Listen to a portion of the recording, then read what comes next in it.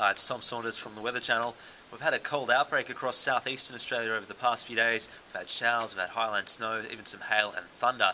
At the moment, the showers are contracting to the New South Wales coastline. You can see here on the satellite image, we've got clouds surging up onto the New South Wales coast in still strong southerly winds, but those winds will be easing over the next 24 hours. The rest of the country is looking quite clear. We've got very warm temps in WA. In fact, we're still hitting the mid 30s along the west coast. For more details, watch the Weather Channel, channel 603 on Austar and Foxtel.